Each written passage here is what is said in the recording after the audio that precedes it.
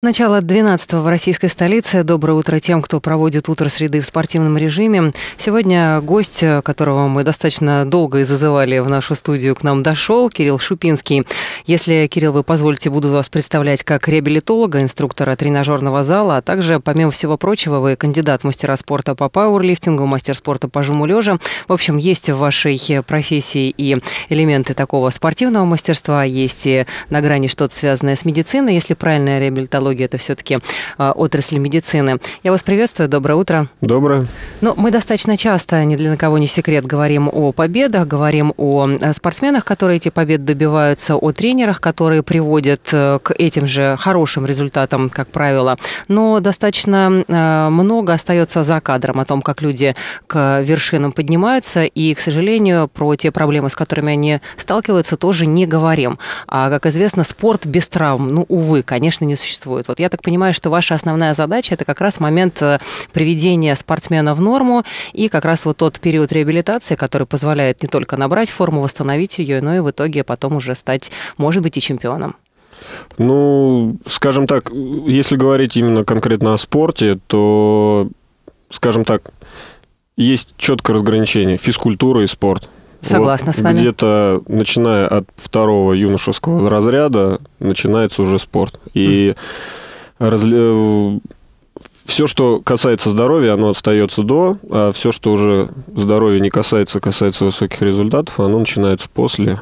И с этим сталкивается любой спортсмен. Я вот вчера так даже задумался, в каком виде спорта, наверное, травму нельзя получить. Но мы так с товарищами пришли, наверное, только в шахматах и то можно уснуть и глаз выколоть.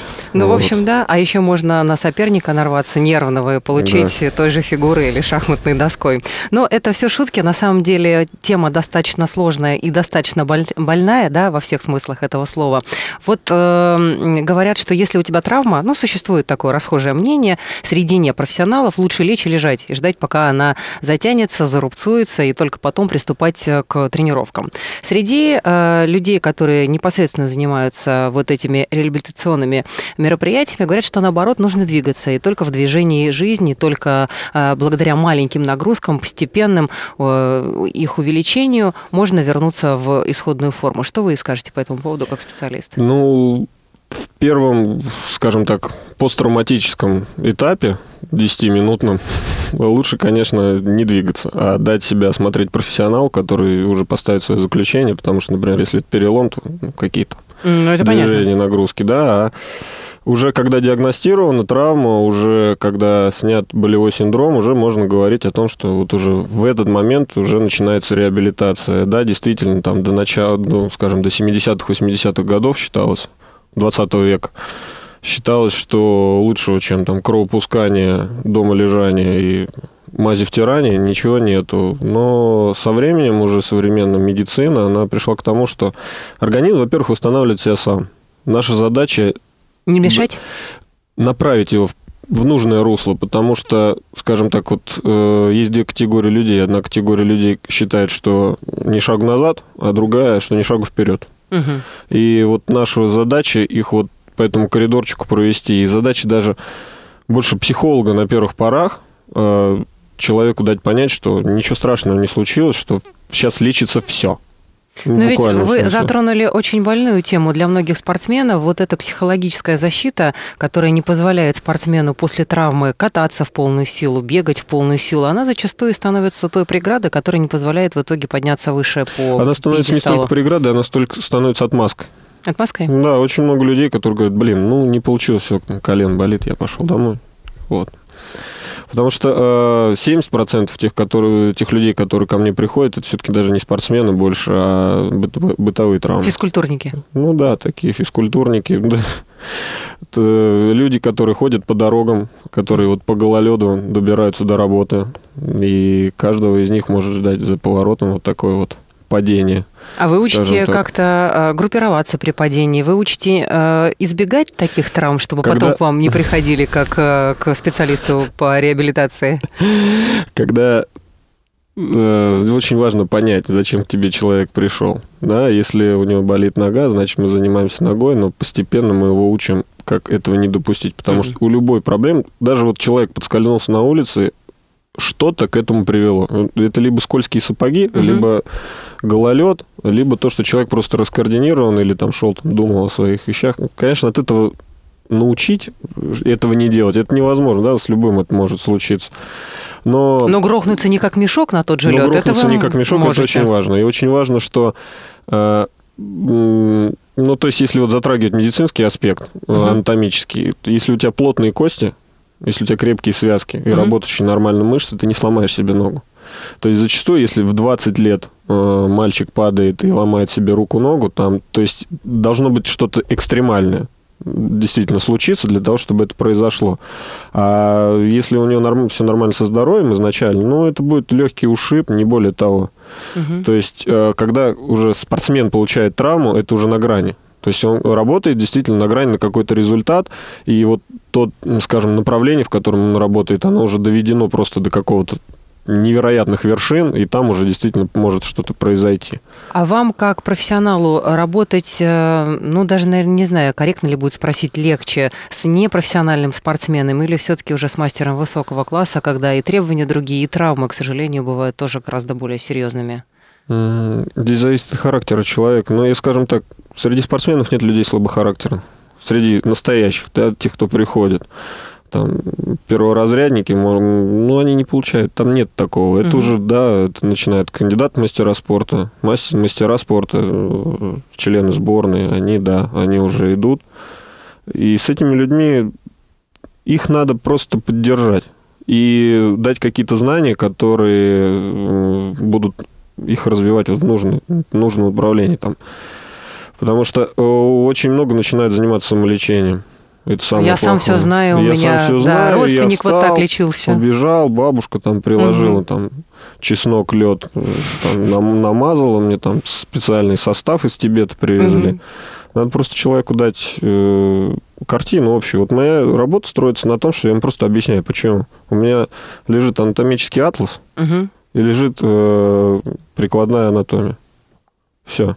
Если человек начинает, занима... начинает заниматься самолечением, то прикладная анатомия становится прикладным средством для лечения травмы, я так понимаю. Ну, такие случаи, конечно, были, но они, они очень редкие. Иногда действительно надо человеку накричать на него, чтобы у него этот ступор прошел, и вперед. И да, работать. Он, и он, да, и он работает, и он пошел. Ну, вот. я так понимаю, что ваша отрасль, она вот на грани и спортивной, и медицинской. У вас есть какое-то медицинское образование? Вы во всем этом разбираетесь в анатомии? Это же нужно знать досконально, не хуже э, хорошего доброго доктора. Ну, если говорить о медицинском образовании, у меня нет медицинского образования. Но слава богу, что есть такая федерация профессионалов фитнеса. Угу. И э, в ней работают люди, которые действительно с медицинским образованием, которые тебя могут этому научить. Ведь э, у меня очень тонкая отрасль направлена. Да, она взаимодействует с другими, но она именно своя. То есть мы говорим не о медикаментозном лечении, а пост. Угу, вот да, восстановительный конечно. период. И основная задача, с которой мне приходится вот работать, это мышцы, кости, связки.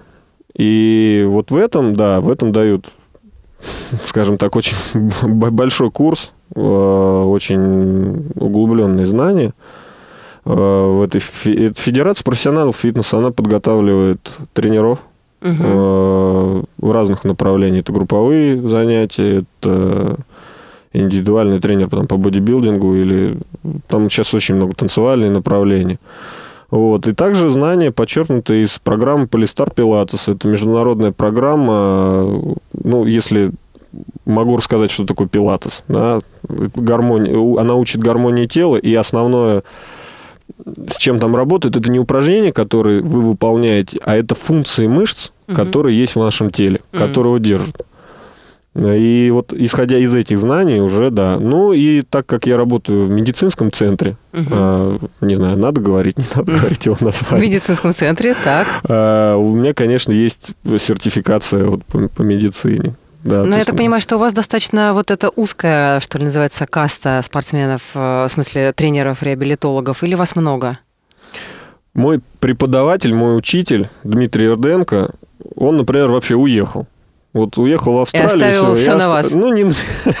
И вы тут единственный. Кирилл, давайте мы с вами на эту тему, насколько широко или узко представлена эта специальность в Москве и в России, поговорим через э, пару минут. Доброе утро тем, кто к нам присоединился. Сегодня тема нашей программы «Спорт как лекарство».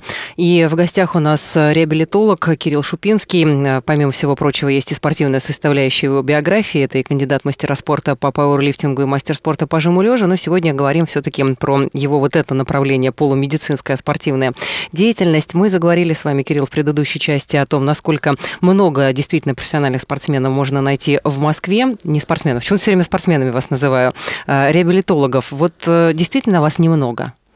Ну, насколько мне известно, более чем...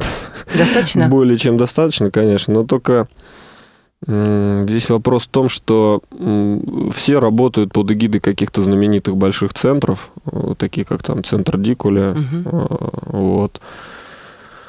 Я работаю индивидуально.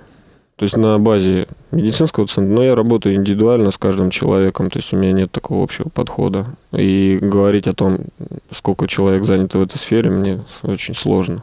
Но это достаточно странно было бы, если бы э, спортсмены высокого уровня приходили целыми группами к вам восстанавливаться. Это очень индивидуально. Это у каждого своя травма, у каждого своя психология, у каждого э, все свое индивидуальное. И вот я не представляю какая-нибудь группа ЛФК, и там, ну, я не знаю, какой-нибудь Антон Сихарулидзе стоит. Ну, это же странно, в принципе. Ну, наверное, да.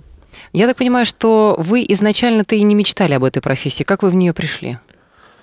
Ну, просто так получилось, что меня с детства травмы преследовали. Вот реально, одна за одной. А, отличался очень плохим здоровьем. Я профессионально занимался баскетболом, но по результатам обследований, да, каждый год проходит обследование, там приблизительно через 3-4 года моей спортивной карьеры мне сказали, знаете, нам такой мальчик не нужен, у него есть э, предрасположенность к астме. Угу. Вот. И никто не будет за него, там слова такие прозвучали, никто не будет отвечать за него, когда он в конвульсиях будет биться там в припадке на поле. Какие прелестные доктора и тренеры, которые вам это говорили. Ну, да, потому что это спорт высоких достижений, здесь такие не нужны. И очень многих людей это ломает. Меня тоже в тот момент... Сломало? Это, ну, сломало, да. Я очень сильно болел из-за этого. Наверное, у меня поэтому там приступы астматические были, потому что а ну, вам это сказали в каком возрасте? Вы мне были сказали, общем... мне было 14 лет. Самые вот переходные, да, когда ну, мальчик ребят, формируется в мужчину, ребята, да? да, с которыми я тренировался, я был ничуть не хуже. Ну, не мне судить. И они пошли дальше. Многие сейчас играют в NBA, а, а я вот остался, значит, там, где-то за рамками этого всего. Но вы реализовали себя совершенно в другой отрасли. Благодаря своему тренеру, да. Я, ну, чисто случайно. И, вот опять же, я начал, как этот, самостийно чем-то заниматься, пошел там чем-то позанимался, тут чем-то позанимался, и боксом, и плаванием, и всем подряд. Перелом... Пришел в тренажерный зал, переломал себе все, что только возможно, получил ком... Э, травму, компрессионный перелом позвоночника. Прекрасно. Да, с этим походил по многим врачам. Врачи, которые смотрели на мой снимок, они так Думали многозначительно, говорю, да, да. Ну, в общем, тебе корсет угу. и лежать.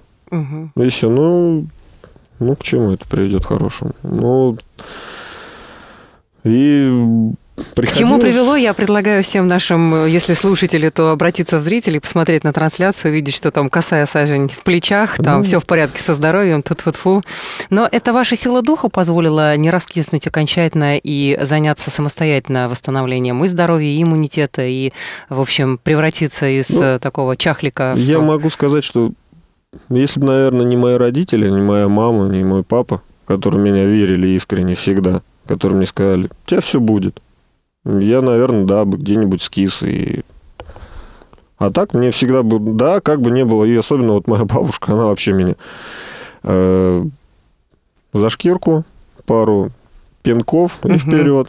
Да, когда я раскисал, я всегда к ней, почему-то не к родителям даже бежал, а к бабушке, она мне давала пару пенделей и вперед.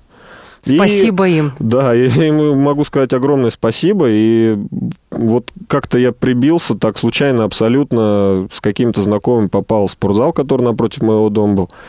И там меня встретил тренер, мой единственный тренер, человек, который меня научил очень многому, который, кстати, прошел через то же самое, да, имя, фамилию можно сказать? Да, конечно, обязательно даже. Это Кадаев Султан. Он профессиональный тренер, чемпион Союза по вольной борьбе. Угу и как раз мастер спорта по пауэрлифтингу. Тогда это еще силовое троеборье называлось. Вот и, откуда у вас да. все кандидатские. И он, я пришел, начал что-то заниматься. Первый, первое мое посещение спортзала было приблизительно такое. Я зашел, на все это начал приседать, куда-то лезть. Угу. Подходит какой-то человек, взял меня за шкирку, выкинул, сказал, придешь в следующий раз в тапочках. Потому что, да, я занимался ботинках, в уличной обуви.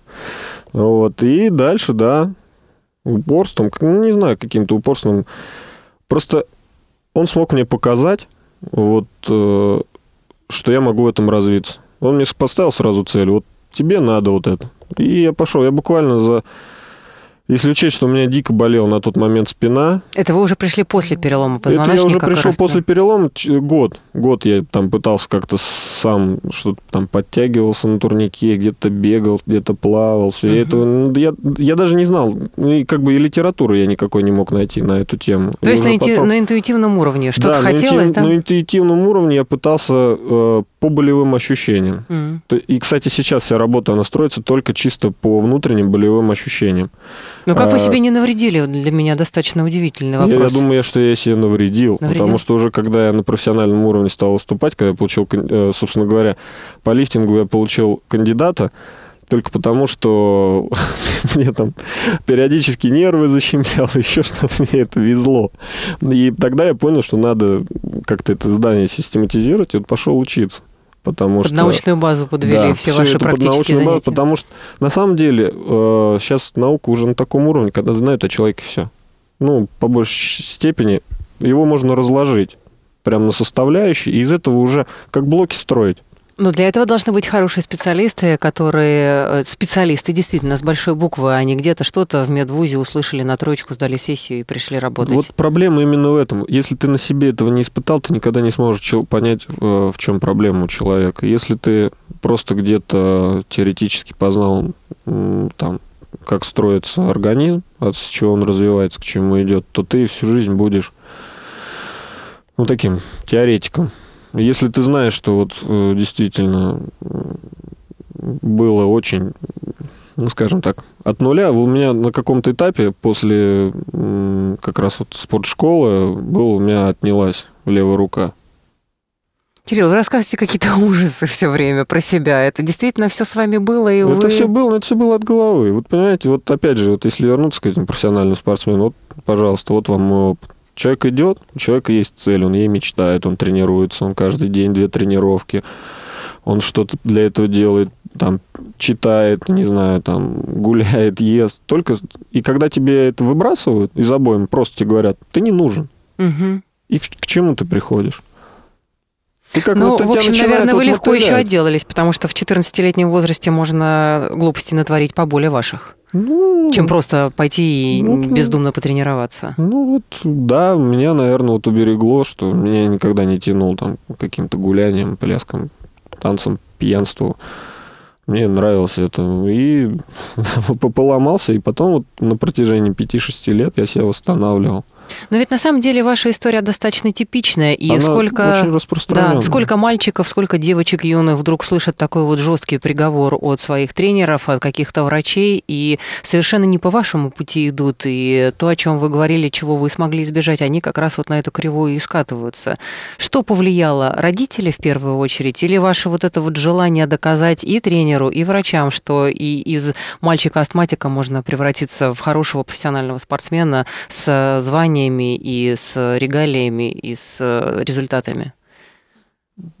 Вера. Вера близких.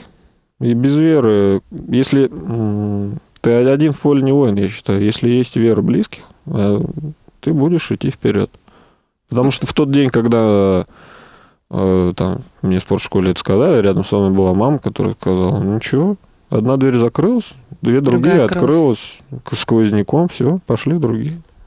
Мама молодец. Ну и надо, конечно, отдать э, должное вашей силе духа. Вы решили, что докажете. Ну, я какой-то упертый вот случился мальчик, и поэтому вот тащу, тащу. Ну, А с тем тренером, который вас из баскетбольной школы а, отправил к докторам, вы как-то общаетесь? Нет. Не поддерживаете Нет, отношения? Я, я ей очень благодарен. Мне, мне не, не, сколько, не столько тренер, а сколько, наверное, руководство школы. Руководство. Это императивно идет. Ну, тут от тренера...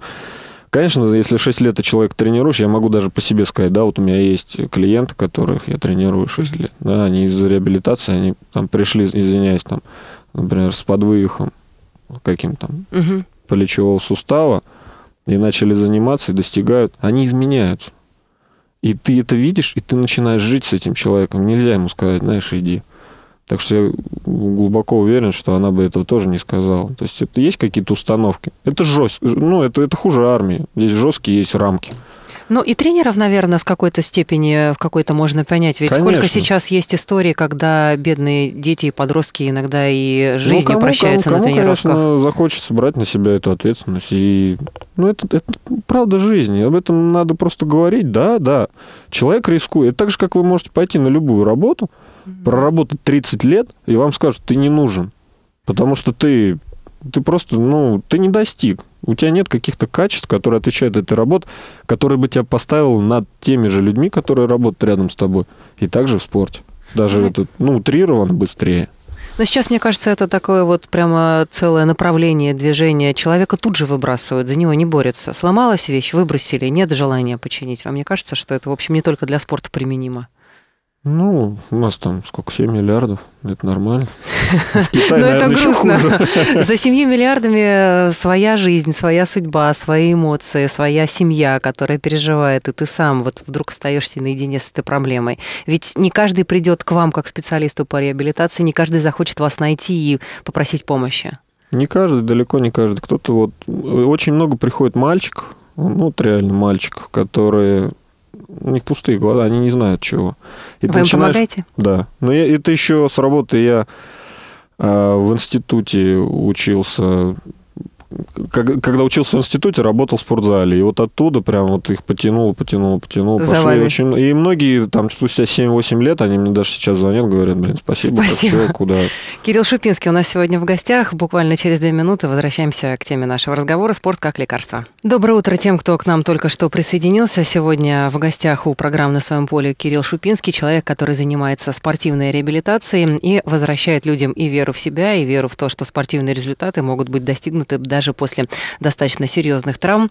Кирилл, еще раз вас приветствую. Доброе утро. Добро. Вашей практики многолетних, сколько, кстати, она у вас уже длится? Пятый Вот год, шестой Пят- пошел. Шестой год. Вот, э, может быть, самый тяжелый случай, который, но мне бы хотелось э, услышать, закончился победой, и спортсмен, например, пришел с какой-то несовместимой с большим спортом травмой, и вдруг э, раз и достиг каких-то вы- высоких результатов больше, чем до нее.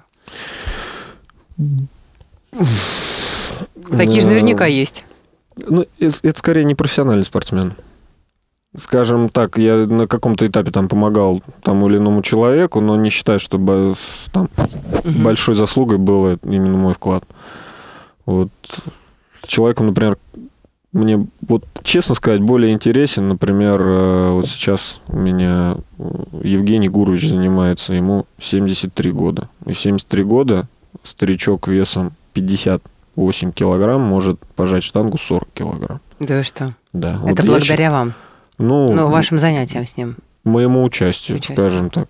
Ну, плюс, конечно, помножено на желание самого... э, Да, несомненно, на его да, жизненную спортсмена. силу, и его вот спортсменом его назвать тяжело. Ну, а почему нет? Но- Бывают же спортсмены-профессионалы, бывают спортсмены-любители. Да, и человек действительно, вот для меня вот это самая большая заслуга, я считаю. Та, которая не оценена кем высоким жюри, какими-то высокими наградами, а та, когда человек, ну, действительно, после двух инфарктов человек приходит и занимается, и э, ребята, которым там 25 лет, которые они там начинают буквально при виде каких-то сложных тренажеров, когда им просто говоришь, ляжь на пол Мгм. и там подними ногу, их начинает уже во все стороны колбасить, и они только двери ищут быстрее отсюда уйти. Почему? А что так пугает? Необходимость работы и... Люди не любят работать. А, то Они есть любят, пришел, Да, да, да, да, они хотят, чтобы вот раз, щелкнули пальцами, и все, пошел. а, что вы нажали, нажали Если- на какую-то ну, тут- точечку, да, и сразу тут все есть прошло. еще один, конечно, такой момент. Естественно, мы работаем на коммерческой основе. М, Там, Денежек я жалко. Хочу, да, м. денежек жалко всем. А здоровье собственное как? А люди почему-то его, ну, им не свойственно его монетизировать. Они как- как-то то ли... Ну, сложно сказать. В общем, они не понимают вот этого, что вложив рубль, ты получаешь результат на 100 рублей. И у тебя будет потом в дальнейшем возможность эти 100 рублей заработать. Они считают, что вот надо... Я как-нибудь сам, неважно как получится, вот. И причем некоторые, они даже там вот э, снимаются с острой они уходят и потом возвращаются. Через год-два, потому что саму первую причину это не, они не устранили. Но это ведь самая распространенная, наверное, в любом лечении проблема, когда первая боль ушла, нужно сразу все немедленно забросить, а курс лечения не продолжать. И Да, все, а потом да. ты возвращаешься и раз, и два, а Вот еще усугубляешь Мы- вдобавок. да, да, вот на последнем буквально семинаре обсуждалось, что, например, в Европе там, или скажем, в США в частности, из-за того, нет куль- ну, у нас нету культуры, а там есть вот такая культура, как вот лечиться. Почему? Потому что людей страховка есть. М. Да, они получают страховку, э, и если ты не долечился, страховку за тебя не выплатят. М. Если ты не выпил эту таблеточку, ты будешь платить за нее сам. Вот. И они приходят, и- а в России этого пока нет. Но уже начинается, начинается. Многие понимают, многие... по- Я могу сказать, что, скажем так, количество людей, которые приходят после э, выписки из больницы, после того, как они проходят курс ЛФК в больнице, Мгм. Они приходят к нам продолжают заниматься, и, и оно увеличивается. То есть оно не идет там, да, к стагнации, к загибанию, а наоборот, оно увеличивается. То есть людей все больше и больше и больше. Правда, конечно, это возраст от 30 лет. То есть у нас средний это 35 и пошло выше. Но, судя по всему, у вас есть люди, те, которые за 70 перешагнули, коли вы уже да, да, упомянули. их ну и за 70, и 60, 60 50-летних вообще просто, ну, очень много, да, там, наверное, процентов 60. В основном мужчины, наверное, которые вдруг вспомнили, что нужно о здоровье, да вот собственно, не только беспокоиться. мужчины, женщины, женщины. женщины больше, они вот, мне бы вот, мне вот ш- не только, чтобы ножка не хромала, мне бы еще вот, чтобы вот талия была осиной. Вот мне вот это надо. И поэтому ты, вот давай сейчас для ножки, а там для талии. То есть вы успеваете еще и э, Да. женщинам не только здоровье возвращать, но и к 90-60-90 приближать. Каждый день. Почему нет? Они а вам интересно с при- таким э, работать контингентом, когда вот Это девчонки... очень интересно. Это очень интересно, потому что пути каждый раз новые ищешь. А, потому что тебе надо человека... Ну, вот когда приходит ко мне, скажем, мальчик после, там, ну, тот же вот самый там распространенный, там, скажем, выбитый мениск или Мгм. что-то такого. Э, Ему там сделали операцию, там его удалили, лишили. Ты знаешь, что через три недели при правильной нагрузке у него все это пройдет. И он дальше Миниск через три недели? ну а что, вот ну так прям смотрите, да. Я вам скажу, мне делали миниск, наверное, я совсем юная была, и полгода я была похожа на человека э, с разных сторон хромающих. Сейчас это, это достаточно простая операция, там нет ничего сложного. Что там? Ну, Что такое миниск? Грубо говоря, это пятирублевая монета, которая увеличивает площадь соприкосновения двух суставов. Ну да. Но она может сплющиться, там, ее мож- могут вот очень часто при вот игре, благо у нас американский футбол не развит, но там это просто, когда тебя двое людей Ну да. сносят, ноги ушли в одну сторону, голова ушла в другую. И там достаточно распространенно. Там это быстро. Буквально небольшая полостная операция, и все. А есть какие-то заболевания, после которых вы не беретесь за реабилитацию, понимаете, что это невозможно, Есть или для заболевания, вас после нет? которых люди не приходят. Так. Есть заболевания. да. Они не хотят, не потому что это невозможно. То есть, в принципе, вы беретесь за всякие случаи, я так понимаю. Я или пытаюсь помочь. помочь. Если человек пришел, надо понять. А, И, ну, мы же работаем, да, мы работаем в связке, и там и медикаментозные, и массажи идут. Врач-мануальный терапевт работает. А, Вот. И уже потом мы подключаемся. А когда, ну, есть, есть много людей, которые, да я лучше хромать буду, я никуда не пойду, ничем себя не буду нагружать. То есть, э, по вашему разумению, было бы у человека желание, не было бы жадности вкладывать в себя, в свое здоровье, и было бы, вот, э, я не знаю, что это назвать, э, работоспособностью, то вы готовы взяться за самые сложные случаи. Конечно. Почему тогда люди не хотят? Почему тогда потому, они что, потому себе... что люди не хотят. Самая большая первая причина в том, что не хочет человек. У нас есть возможность, ну вот если так вот взять по-хорошему, есть возможности и знания развить любого человека. Мгм. Просто вопрос вложения его труда и вложения получения чего-то из этого вложенного труда. А буквально три недели назад вот начал у нас сейчас... Еще надо понять один такой момент. У нас это чисто добровольно. То есть ты хочешь, э, ты работаешь индивидуально с тренером. Угу. Не хочешь? Вы составляете конкретную программу, я под этого человек программу. нет, или как это происходит? И самое важное в моей работе, что я не составляю программу. Я, э, есть план, согласно которому он развивается. Да. Э, сейчас объясню, в чем угу. разница. Программа – это строго э, структурированная, это какой-то канон, вот по которому вот надо сделать столько, столько, столько. Угу. А я работаю ситуационно. Человек ко мне когда-то приходит в первый раз, э, я императивно задаю ему какую-то нагрузку. Угу. Когда он приходит во второй раз, первые же мои слова, что болит, угу. что вы чувствуете. И вы смотрите, что где да. проявилось. И потом, исходя из этого, я даю снова нагрузку. Человек уходит, человек приходит снова, я даю снова нагрузку и снова спрашиваю, что болит. А не боитесь ошибиться, Кирилл? Э, людям свойственно ошибаться. Просто вопрос, моя ошибка, она... Я даю такой допуск, э, чтобы моя даже возможная ошибка она не привела к каким-то плачевным результатам. Mm. То есть чуть-чуть, может быть, человек где-то перегрузится, но это не приведет э, к... Необратимым каким-то да. последствиям. Он... А вы смотрите медицинские карты, когда к вам приходит э, человек? Ну, или... очень, ну, у нас есть, э, скажем так, такая функция, uh э, но я обычно полагаюсь, что человек мне сам об этом расскажет. То есть вы идете от ощущений непосредственно человека, который к вам пришел. Что он хочет, ну, что он ощущает, конечно, где болит и что диагноз нужно. Диагноз его услышать. Угу. Диагноз сначала услышать, а потом уже, исходя из этого, мы работаем с такими людьми. К вам легко попасть или у вас там очередь и говорят, о, там уже пошла там 105-я очередь, и сейчас там я через два года попаду, или у вас нет такого да прям? Нет, нет, нет никакой очереди. Нет, нет, людей, как сказать, конечно, много, но там нет такого. А среднем по времени сколько вот... Я понимаю, что разные травмы, разные люди, но тем не менее, вот насколько человек должен рассчитывать, чтобы он вернулся в норму, если он не хочет э, помимо реабилитации еще и получить вот, как девушки вышеупомянутые, талию осиную? Ну, это зависит от типа травмы. Ну, самое большое, может быть, два месяца. Всего, то есть нужно, на самом деле, не так много времени ну, скажем, на себя да, потратить. После, там, есть... К нам приходит уже люди, способные к нормальной жизни. Да? Мы только, э, скажем так, э, нивелируем те недостатки, которые были получены в результате там, травмы. Угу. То есть уже последствия, да, мы развиваем их. У нас, ну, чтобы представление было, там нет стационарно лежащих. Ну, понятное кому, дело, конечно, да. Мы ставим балетные стенки и заставляем угу. через боль, через слезы э, там, развивать какие-то функции. Нет, конечно. Человек приходит по собственному желанию. Но обычно, да, вот, скажем так, визуальные, а, а, внутренние ощущения а, у человека начинают меняться спустя 14 дней. Угу. Ну, это вот реально. То есть две недели, порядка там трех-четырех занятий, и человек начинает ощущать по-другому. То есть ко мне люди приходят и говорят, что-то мне легко. Вот это для меня это самое что может быть лучше, я даже представить не могу. Он говорит, мне легко. Я могу сделать то, я могу наклониться. А мне каждому человеку вот еще, ну вот за мою практику, может, один или два было, э, человек просто научить правильно наклоняться. Правильно, Такое тоже бывает? Правильно.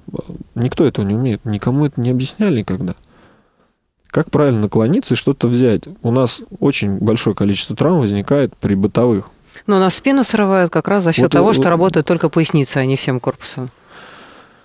Даже поясницы не работают. А работают, как тогда? Не, работают непонятно чем. Работают руками. А поясница растягивается. Ведь, понимаете, весь организм, он связан.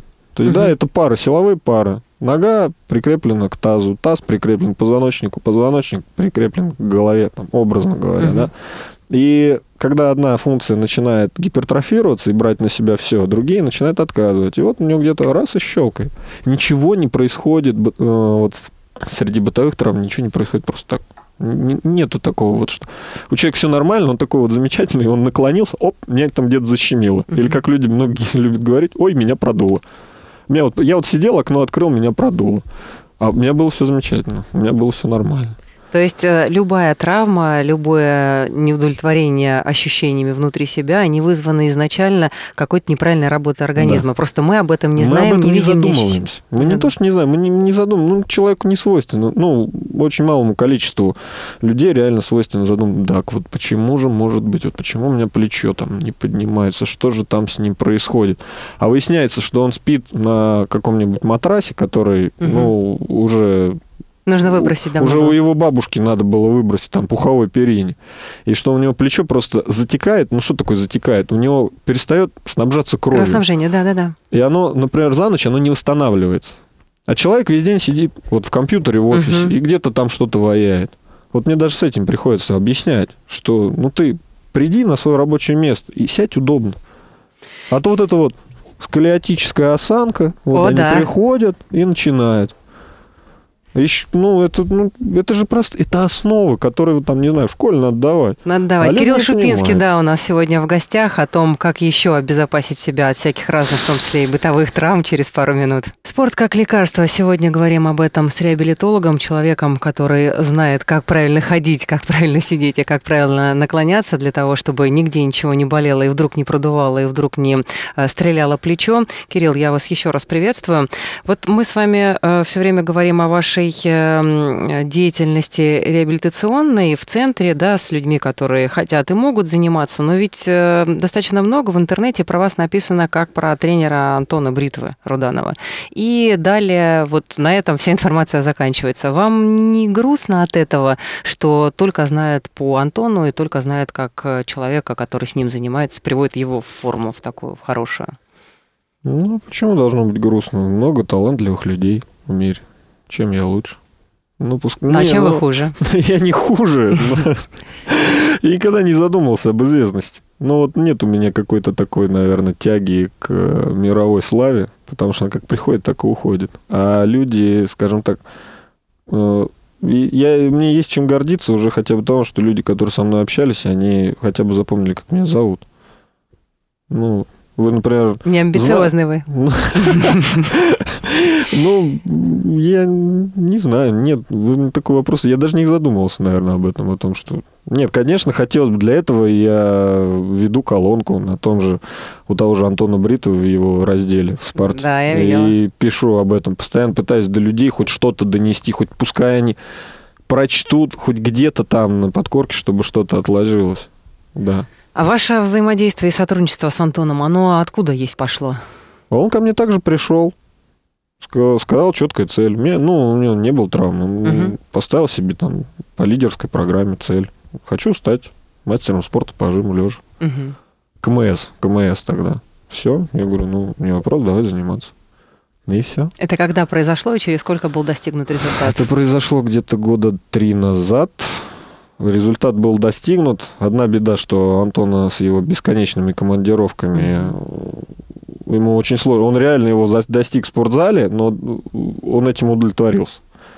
Да. То есть ему достаточно буквально, там, чтобы войти в форму небольшого промежутка времени, угу. и об этом я ему постоянно говорю, чтобы поехать на соревнования, уже получить этот там сертификатик о том, что вот, вот зарегистрировали, все, оно у тебя есть. Чтобы в списочке значилось, мастер спорта. В списочке значилось, к его там регалиям куче. Ну, просто это действительно...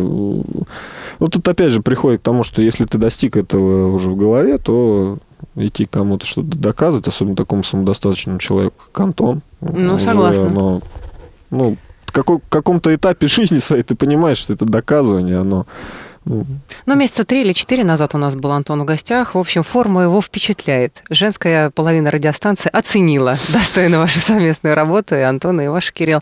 Но, э, насколько я понимаю, таких спортсменов, именно приходящих к вам не за реабилитацией, не очень много. Все в основном приходят за здоровьем, за тем, чтобы вернуться к нормальной полноценной жизни. 50 на 50. 50 на 50. 50 на 50, и 50% э, людей с определенными заболеваниями опорно-двигательного аппарата и 50% люди, которые вообще просто решили пойти вот в тренажерный зал, но подумали, что, наверное, какой-то фитнес-клуб им не очень нужен, угу. а надо как-то, чтобы немножко люди подумали о том, что вот не конвейерно было, а вот камерно, как мы любим говорить, камерно получилось, да, чтобы ну, что-то получить за результатом.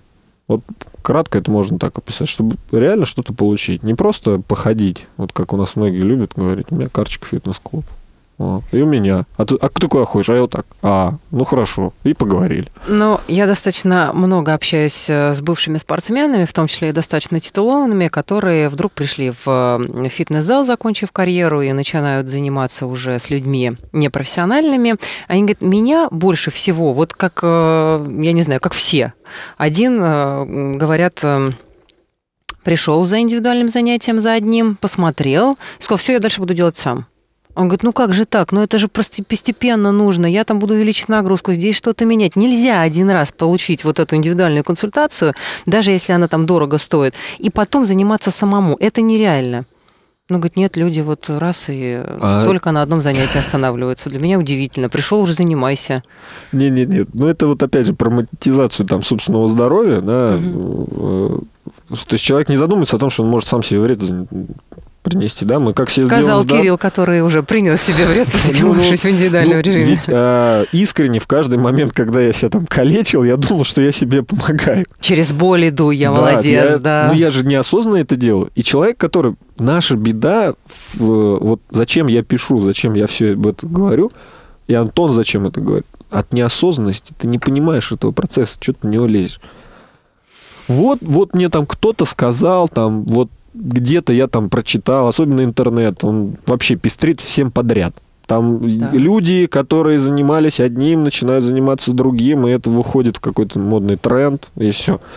И также, а спортзал рождает иллюзию. Вот у нас, например, нам повезло, у нас достаточно сложный реабилитационный оборудование, к нему просто так не сядешь. Угу. Ну, там такая загогулина вот интересная, железная. То есть нужно там знать, с какой понять, стороны. Да. Угу. А в обычный тренажер ну, ты приходишь, ну, у тебя там есть там, турник, там, какие-то тренажеры, там, где ты тянешь, где ты жмешь. И человек думает, блин, ну, и на нем еще нарисовано. Угу. Зачем То есть я? По инструкции, я, да, я, я заплатил деньги за абонемент. Я даже один раз кем-то позанимался, он меня там посадил на меня. Я же делаю обалденно. Неужели ж у меня не получится? Я что, хуже всех остальных? Да я сейчас сделаю. И вот они начинают на них как павианы скачать, скакать туда-сюда, спрыгнул отсюда, там, сям. И спортзал рождает иллюзии. Когда ты приходишь в зал бокса, перед тобой висит мешок. Что с ним делать, ты не знаешь. М-м ты можешь подолбить, и все, и ты уйдешь, у тебя интерес да. пропадет. Да. На нем не написано там связки, на нем не написано, как работать, как дышать. А на тренажерах вот в, в этом вся проблема. То есть есть Вам не иллюзия. хочется остановить в этот момент товарища с, за шкирку его я снять? периодически... Не, у меня другая. Когда я дежурил в тренажерном зале, я обычно ходил и просто... Ну, вот у меня такая манера общения, я людей жестко, ну, извиняюсь, стебал. Угу. Там давай поднажми, парень, давай, давай, ты это можешь. Там, ну, Народ и... поми- понимал юмор, нет? Ну, знаете... Нет, люди... Или продолжали, а, одобренные тренером? Люди, скажем так, вся моя клиентура так и получилась. То есть, да, вот первоначально, когда я только пошел работать, она вся так и получилась, что я просто ходил и реально над людьми смеялся.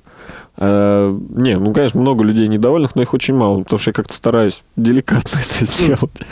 Вот, и человек, вот реально, если ты подходишь, ему говоришь, вот это вот не так, вот это вот так, он редко задумается. А когда ему говорят, что давай, давай, у него наоборот стопор в голове срабатывает, от обратного. Да, мы же всегда все делаем наоборот. Ну да. Если ты говоришь человеку, не торопись, вот ты сел в машину к таксисту, говоришь, не торопись, не торопись, он наоборот поедет быстрее. Когда ему говорят, да у меня еще много времени, ну ничего страшного.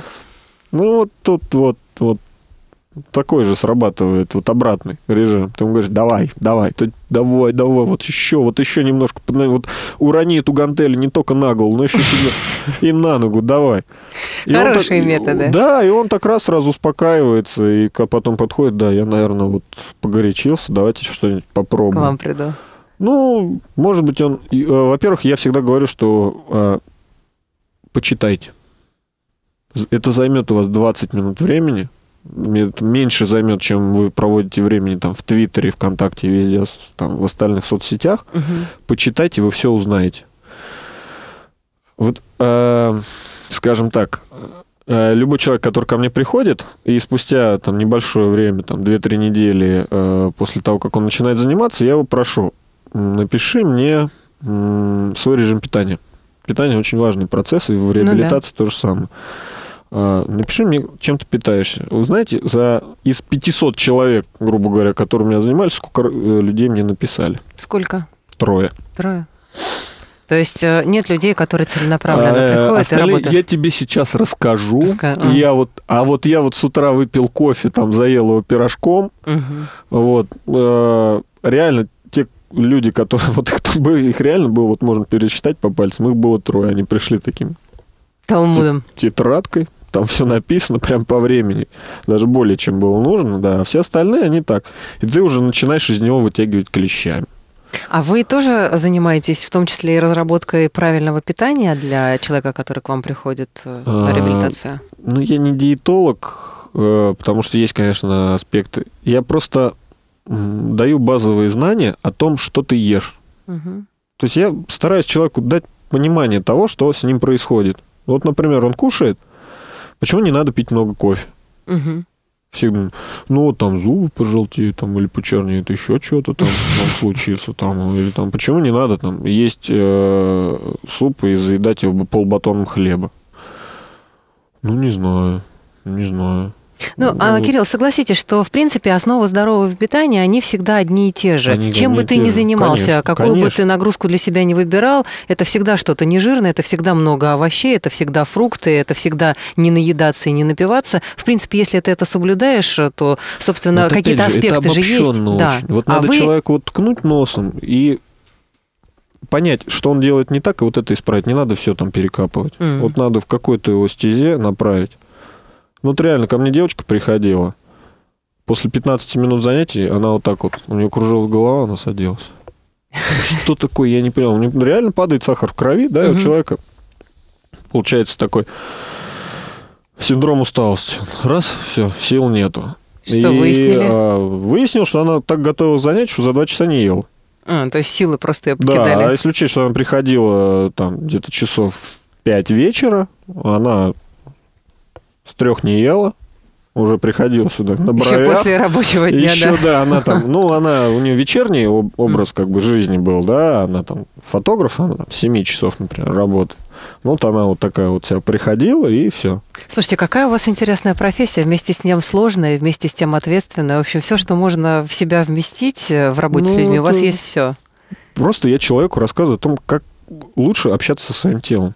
Я им больше ничего не объясняю. Я не лезу в высокие материи там, его души и все остальное. Мне это не подвластно, и я не хочу этим заниматься. Но научить просто... Я это на себе испытал. И я говорю, Пытайтесь что человек... предостеречь от своих ошибок тех, да, кто идет по вашему пути. Слава богу, это получается. Спасибо. Всегда, но... Спасибо вам, Кирилл. Я надеюсь, что те, кто нас сегодня послушал, по крайней мере, прекратят пить кофе в немыслимых количествах, начнут правильно наклоняться, а еще лучше постепенно начнут действительно правильно питаться, правильно заниматься физкультурой и правильно жить. Спасибо. Услышимся ровно через неделю. Спасибо вам. Счастливо. Счастливо.